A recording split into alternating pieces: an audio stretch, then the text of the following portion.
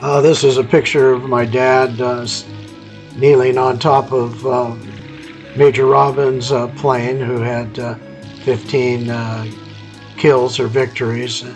It's another picture of his plane after that.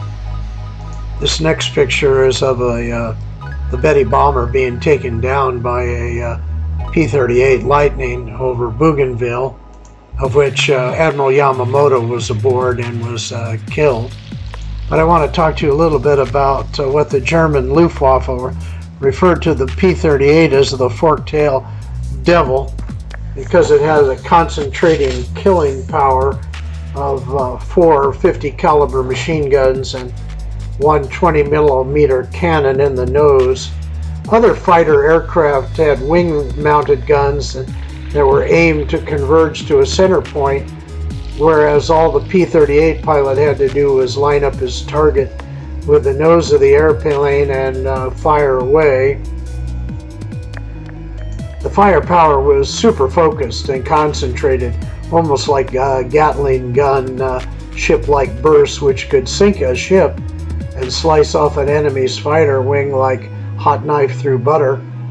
The firepower was accurate in the P-38 up to a thousand yards, whereas the fixed wing fighters were limited to a specific range because of the crisscross angle of the bullet attacks off each wing. The P-38 could climb to 3,300 feet in a minute and reach a ceiling of 44,000 feet. With twin uh, supercharged Allison 1,475 horsepower engines, it could reach a uh, speed of 415 miles per hour which was about 100 miles an hour faster than any other production plane at the time, and it was faster on one engine than the Japanese Zero. It shot down more Japanese planes than any other fighter in World War II, and uh, the top seven aces in World War II all flew P 38s. The plane also had armored colored glass. Uh, and uh, cockpit armor and fluorescent cockpit controls, self-sealing fuel tanks, and enhanced armor protection, as well as counter-rotating props, which made it a very stable gunnery platform. One of these pictures is Cy Homer, who had uh, 15 kills. Uh, there's also Lloyd in uh, Major Robbins' plane.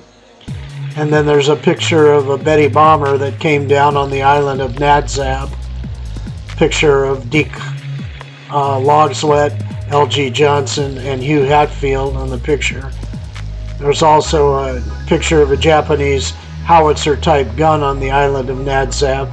And the last picture is of L.G. Johnson uh, with my dad cutting his hair. And sadly, L.G. was killed on the island of Mindoro on a particular takeoff where he hit the water